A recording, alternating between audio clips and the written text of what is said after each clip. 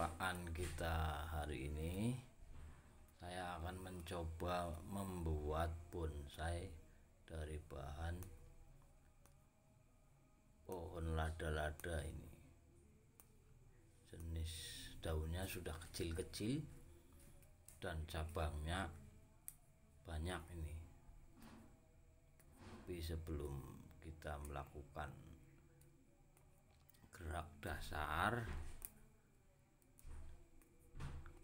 saya akan melakukan pruning terlebih dahulu. Saksikan terus dan simak